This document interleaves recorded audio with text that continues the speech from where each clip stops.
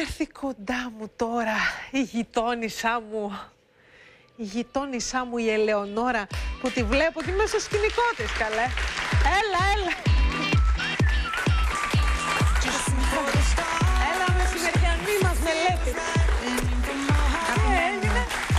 Ούτε καν άλλαξα.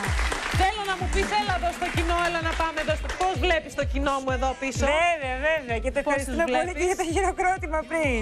Πάμε. Υπέροχα. Μόνο τόσο έχετε; Αυτό ήτανε; Και από εδώ. Για κοίτα εδώ τα παιδιά, κοίτα εδώ ωραία παιδιά. Με το φλούο παπούτσι άλλη πώς τη βλέπεις; Είναι της μόδας εδώ. Τα ακολουθούμε όλοι.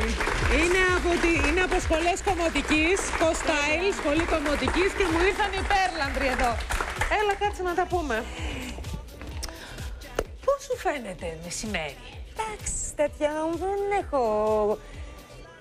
Τι- Δηλαδή ξεκίνησες δουλειά, τι ώρα ξυπνούσες, 6, 5. Εξαρτάται. Αν έμενα στο σπίτι με τους γονείς μου στη Θεσσαλονίκη, ξυπνούσα 5 και 4, 5 και 20. Άμα ήμουν εκεί φυσιά, ξυπνούσα 6,5. 6,5. Τα παρά 20. Πόσα χρόνια ξυπνάς 6,5? Ε, τέσσερα. Τέσσερα χρόνια. Τέσσερα. Σήμερα λοιπόν ήρθες στη δουλειά. Ναι. Ξύπνησες 6,5. Όχι. Πώς σου φάνηκε αυτό; Θα και σου είπες πω- καλό μεσημέρι, δεν είπες καλημέρα. Επειδή είχαμε και τις απεργίες την περασμένη εβδομάδα και ε, τελειώσαμε τις εκπομπές μας λίγο νωρίτερα και χωρίς να το γνωρίζουμε, ξεκινήσαμε να ξυπνάμε και πιο αργά από την περασμένη εβδομάδα. Οι πρώτες μέρες είναι λυτρωτικές. Ήταν οι λυτρωτικές. Όπως επίσης και οι πρώτες νύχτες που δεν είχα το άγχο του να φύγω από την παρέα μου νωρίς, να επιστρέψω νωρίς στο σπίτι. Δηλαδή πήγαινε 12, 12.30 και ενώ μπορεί να πέρναγα υπέροχα κάπου, είχα αυτό το άγχος. Το, ότι ρο- το ρολόι τρέχει και πρέπει να γυρίσω για να κοιμηθώ. Γιατί δεν έχω τις αντοχές που είχα νεότερη. Δηλαδή, εντάξει, όχι γιατί με έχουν πάρει τα χρόνια, αλλά υπήρξαν και περίοδοι στη ζωή μου που πήγαινα και απευθείας στη δουλειά μετά τα μπουζούκια, ας πούμε. γιατί πάντα είχα μια τάση να είμαι πρωινή στις βαρδιέ μου και στο άλτερ. Ε, δεν αντέχω όμως τώρα. Δηλαδή, η έλλειψη ύπνου μου προκαλούσε πολύ έντονα, νε... ξέρεις, είχα έντονα νεύρα, λίγα όρια υπομονής, ε, κόπωση σωματική, κόπωση ψυχική εύκολη. Νομίζω ότι όλοι όσοι ξυπνάνε νωρίς μπορούν να το καταλάβουν. Δεν είμαι η μοναδική που το κάνει αυτό. Σαφώς νομίζω το μεγαλύτερο ποσοστό των Ελλήνων ξυπνάει αυτές τις βάρβαρες ώρες. Οπότε λίγο πολύ όλοι εγώ. μπορούν να το καταλάβουν και να το βιώσουν. Εγώ 6,5 ξυπνάω. Μανούλες Έξι- ξυπνάνε έξι τέτοιες και ώρες. 20. Το σχολικό περνάει 7 και 20. 7 Οπότε και μισή. καταλαβαίνεις. Ξέρω τι θα πει. Απλά αυτό που εμένα με ενοχλούσε όλα αυτά τα χρόνια είναι ότι δεν έχω κοιμηθεί ποτέ στη ζωή μου. Ναι. Ποτέ δεν έχω κοιμηθεί στη ζωή μου. Το έχω παράπονο, ας πούμε.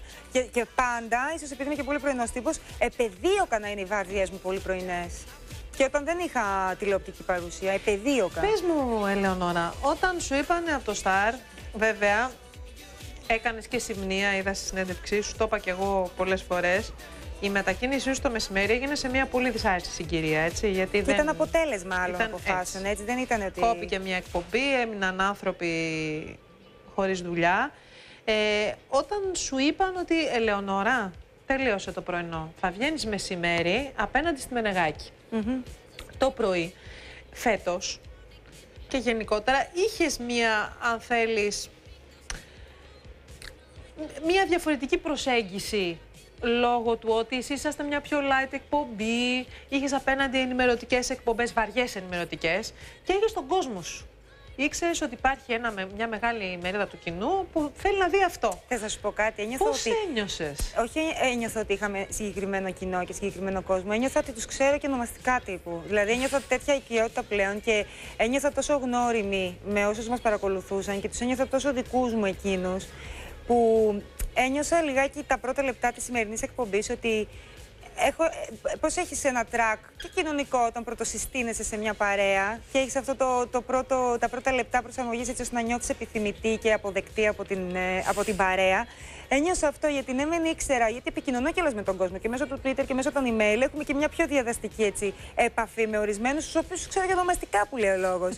Ε, ένιωσα λοιπόν ότι ε, παρακολουθούμε εκείνη την ώρα και από νέους τηλεθεατές που δεν είχαν ποτέ τη δυνατότητα να μας δουν τηλεοπτικά και μ, είχα ξέρει αυτή την ρε παιδί μου την ε, μετρημένη ευγένεια του να ε, με υποδεχτούν για πρώτη φορά στο σπίτι τους και δεν ήμουν αυτό το ψιλοχημαδιό που είμαι το πρωί που ξέρω ότι μπαίνω στα σπίτια κάποιων κλασικών. Ήσουν πιο που είναι δική μας. τώρα, πιο. Κατάλαβες; Ναι, Σας είναι συστήνω λίγο από την πιο, αρχή. Είναι η πρώτη μου φορά. Ναι, κάνω- ναι. Μπαίνω σε ένα και τα αφήνω στο Πώς σπίτι ένιωσες σας. όμως, γιατί είναι μια μεγάλη αλλαγή. Δηλαδή, εσύ είχες μια σταθερά.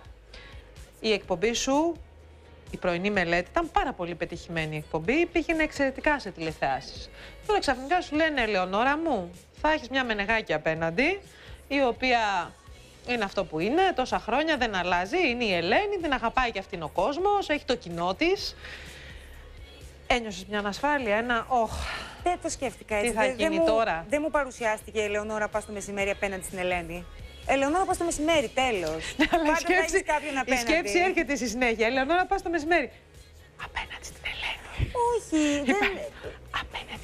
Απέναντι στην Ελένη. Ναι, έτσι με αυτή την οτροπία και το πρωί όταν μου είχαν πει η Ελεονόρα πας το πρωί εκτός από το δελτίο ειδήσεων, είπα απέναντι στο Παπαδάκι και απέναντι στον Αυτιά και απέναντι σε όλη την άλλη τη στρατιά με τα, βαρ- με τα βαριά πυροβολικά που λέω Χριστέ μου θα πάω και θα με φάνε λάχανο. Ναι, αλλά το πρωί έκανες κάτι πολύ διαφορετικό. Δηλαδή, απευθυνόσουν σε ένα κόσμο που δεν θέλει να δει τη βαριά ενημέρωση που κάνουν όλοι αυτοί μαζικά. Νομίζω ότι και τώρα έχουμε χώρο υπό την έννοια ότι μ, υπάρχει μια... ε, Εμένα μου αρέσει να υπάρχει προσφορά. Μου αρέσει να υπάρχει ποικιλία. Έτσι, και να μπορεί να επιλέξει ο Και εμάς κόσμος. μας αρέσει να υπάρχει ποικιλία. Ναι, και Να έχουμε να επιλέξουμε. Ξέρεις, ε, ε, ε, νομίζω ότι στην τηλεόραση, αν βγάλεις λιγάκι από το μυαλό σου, γιατί είσαι άνθρωπος της τηλεόρασης και εγώ και το σκεφτόμαστε και έτσι, και πίσω από αυτό που ο άλλος ο κόσμος, ο απλό που δεν ασχολείται με την τηλεόραση, βλέπει απλά ότι υπάρχουν μια, ε, υπάρχει μια γκάμα εκπομπών και δεν μου αρέσει αυτό, βάζω το άλλο. Αν βγάζεις λοιπόν από πίσω το ότι κρινόμαστε και από την πορεία και από τα αποτελέσματα και αυτά, ουσιαστικά υπάρχει χώρος για όλους μας. Από εκεί και έπειτα, αυτό που εμάς μας κάνει να το βλέπουμε λίγο διαφορετικά είναι ότι πολλές φορές, και λέω πολλές φορές γιατί πλέον νομίζω και νιώθω ότι οι άνθρωποι της τηλεόρασης αρχίζουν σιγά σιγά και το αποβάλλουν αυτό από πάνω τους, κρινόμαστε εκ του αποτελέσματος. Που εμένα δεν μου αρέσει αυτό. Παρόλο που όλα αυτά τα χρόνια είμαι ευνοημένη από την AGB, δεν είχε γίνει αιμονή στο μυαλό μου το νούμερο. Ε, και απολαμβάνω αυτό που κάνω. Πριν από λίγο καιρό, φέτος δεν ήταν που πήγε στην εκπομπή της Ελένης ή πέρυσι. ήταν; Πέρσι, πέρσι τον Πέρσι. Νοέμβριο, Οκτώβριο-Νοέμβριο, κάπου Ναι. εκεί. Ε, είναι και περίεργη συγκυρία, διότι εσάς σας έφεραν κάποιοι πριν χρόνια ως τις μεγάλες αντίπαλες. Μμ. Ελεονόρα Ελένη, αυτό, ε, Αντένα, είχε Εντάξει, φύγει το έχουμε αυτή, είχε πάει. ξαναδεί. Ήταν Δύση, όλο αυτό το Δύση έργο. Βανδύ, ε, ε, Ναι, όλο. Στάι, Τρέμι. Δηλαδή υπάρχει πάντα ένα δίδυμο το οποίο θα κοντεροκτυπιέται. Είναι κλεισέ και. Είχε κλείσει όμως ωραίο αυτό. κλισέ. Αυτή η κόντρα είχε κλείσει.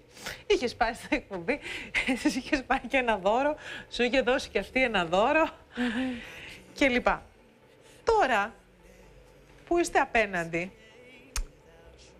κάποιοι θα επιχειρήσουν να πούν ότι νάτες πάλι κόντρα. Ωραία. Οκ. Εσύ τι τίτλο θα βάζες σε αυτό; Δεν βάζω τίτλο. Για μένα δεν υπάρχει αυτό το πράγμα. Άρα θα βάζεις τίτλο; «Δεν βάζω τίτλο ή δεν υπάρχει κόντρα». Ναι, δεν υπάρχει για μένα αυτό το πράγμα πια. Είναι, μου φαίνεται πολύ, όχι παλιό, μου φαίνεται πολύ παλιακό στο μυαλό μου όλο αυτό. Δηλαδή δεν μπορώ να φανταστώ ότι θα βγω στο παιχνίδι ξανά αυτό και ούτε καν με απασχόλησε όταν, όταν αποφασίστηκε ότι θα γίνει αυτή η μετακίνηση.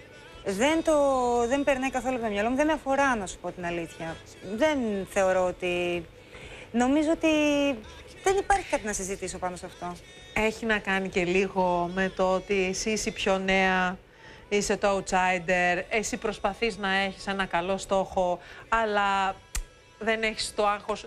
Ενδε, ενδεχομένως εκείνο να έχει μεγαλύτερο άγχος Δεν νιώθω αν ούτε εσύ νέο, πας ούτε καλύτερα. ας outsider. πούμε. Νιώθω ότι έχω περάσει κάποια χρόνια στην τηλεόραση και έχω κοντεροκτυπηθεί με πάρα πολύ μεγάλα ονόματα από το χώρο της ενημέρωσης και της ψυχαγωγίας, έτσι. Ε, και ότι δεν έχω να αποδείξω, τουλάχιστον σε συναδέλφους μου, πράγματα όπως είχα στο ξεκίνημα, που έπρεπε να αποδείξω. Αν μπορώ να τα καταφέρω ή όχι, αν μπορώ να έχω διάρκεια ή όχι. Δεν νιώθω ούτε αυτή την πίεση, ούτε αυτό το άγχος. Ε, νιώθω ότι μ' αρέσει αυτή η δουλειά που κάνω, την αγαπάω πολύ. Νιώθω τυχερή γιατί έχω βοήθεια από συνεργάτες και στήριξη που ταιριάζουν τα χνότα μας και είναι πολύ σημαντικό αυτό. Γιατί ταλαιπωρήθηκα πολύ μέχρι να βρω ισορροπίες και με τους συνεργάτες μου. Όχι τους ε, τωρινούς, εννοώντας από το ξεκίνημα. Και είμαι σε μια φάση τα τελευταία χρόνια, από τότε δηλαδή που ήρθα και στο Star, που μ, και λόγω συγκυριών έτσι νιώθω και πιο συνειδητοποιημένη. Μ' αρέσει και αγαπώ πολύ αυτό που κάνω. Έμαθα ότι το Πάσχα έτρεχες. Ναι, και το Έτρε... έτρεχες και έκανες ποδήλατο Ναι.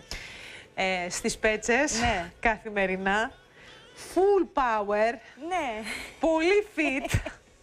Πολύ τζόκινγκ έπεσε Κάηκα εκεί κιόλας. στην τάπια, στις πέτσες μπροστά γινόταν χαμός. Πολύ ποδήλατο με personal trainer. Όχι, δεν ήταν personal trainer, Τι αλλά ήτανε, αυτός ήταν ποιος φίλος ήταν; μου. Με φίλο, τέλος Υπερφίλος πάντων. μου, υπερ, ε, υπερφίτ κι αυτός, που είχαμε κα- κλασικά το ραντεβού μας το πρωί, πηγαίναμε, τρέχαμε Είσαστε τέσσερα δύο χιλιόμετρα. τρελοί υπερφίτ Δύο που τρέχατε. τρελοί, Τι τρέχαμε. ώρα τρέχατε; Ε, Δεν είχαμε ωράριο. Τον, ε, ξέρεις, μέναμε, φιλο- μας φιλοξενούσε ένας φίλος και μ, ε, επειδή ήταν και αυτός άνθρωπος πολύ της γυμναστικής και της καλής διατροφής, ε, εγώ είχα πάει με σκοπό ότι θα κάνω τις αθλοπαιδείες μου και του λέω ψήνεσαι να πάμε για τρέξιμο. Μου λέει ναι, κάναμε 4 χιλιομετράκια κάθε μέρα και κάναμε και το γύρο των σπετσών με ποδήλατο. Αλλά Γύρω κάηκα. όλο το γύρο των σπετσών. Έλα. Πολύ ωραία ήταν. Κάθε μέρα το έκανες αυτό; Κοίτα, το γύρο των σπετσών δεν τον κάνεις κάθε μέρα. Γιατί Αρνή ποτέ σε έφαγες, χρόνο, παιδάκι Θα σου μου. πω αμέσως. Σε χρόνο αυτό ε, συνεπάγεται δύο ώρες παρά 10 λεπτά ποδήλατο. Έτσι, με ανηφόρες, φυσικό έδαφος. Είναι λιγάκι. ε, Δεν είναι για αρχάριους. Ε, το τζοκινάκι ήταν τύπου εύκολο. Είναι καθημερινά το κάνουμε. Το 4 χιλιόμετρα και οι δύο δηλαδή στο γυμναστήριο. Είναι ο φίλος σου που είδαμε στα Hello OK αυτός; Όχι, όχι. Ο άνθρωπος είναι αυτός αυτός; που ήμουν εγώ, παιδιά, είναι δεσμευμένος. Ήταν και η κοπέλα του εκεί. Απλά ίσως δεν την είδε κανείς γιατί έχει πρόβλημα το γόνατό της. Η γυναίκα δεν γυμνάζεται. Ναι. Να τα πούμε αυτά. Α, Εν τω αυτός μεταξύ, ο ο φίλος του Κακομοίρη εκεί- αυτό τρέχαμε το πρωί και σε κάποια φάση το βλέπω και σπιντάρι. Του λέω: Καλέ, πού πας; Άλλαξε τη διαδρομή, μου λέει: Έχει παπαράτσι. Του λέω: Δεν είμαστε καλά. Πού τους είδες, παιδιά, παπαράτσι; είδε τους παπαράτσι. Είδε του παπαράτσι πίσω από τις άμαξες. Φοβερό το μάτι του. Αυτός ο φίλος του OK ποιος είναι. Αυτό εδώ είναι άλλος, είναι ο Ηλίας. Είναι ο Ηλίας Πετράκης. Νομίζω ότι κάποιοι μπορεί να τον ξέρετε από το χώρο της μόδας γιατί είναι πολύ πετυχημένο μοντέλο. Από το χώρο του αθλητισμού επίσης πολύ καταξιωμένο όνομα γιατί είναι πρωταθλητή στην κολύμβηση. Φίλο, και το τονίζω, φίλο. Φιγιώτα λάμδα όμικρον σίγμα. Φίλο.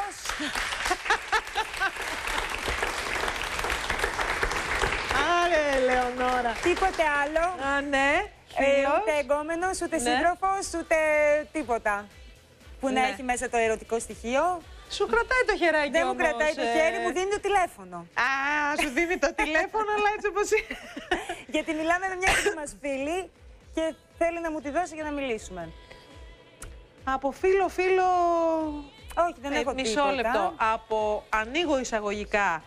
Φι, γιώτα, λάμδα, όμικρον, σίγμα, κλείνω εισαγωγικά. Τίποτα. Δεν έχω κάτι, όχι. Και είμαι πολύ χαρούμενη γι' αυτό. Και ούτε Πολύ ψάχνω, ξέρα. γιατί διάβασα σε ένα τίτλο Δηλαδή, τα εφημερίδας βράδια- ότι ψάχνω τον έρωτα. Δεν ψάχνω κανέναν έρωτα. Γιατί δεν ψάχνεις, ε, Γιατί Λεωνόρα, δεν με τον αφορά έρωτα; να τον ψάξω. Προτιμώ να με βρει, άμα θέλει. Εγώ γιατί να ψάξω; δεν ψάχνουμε.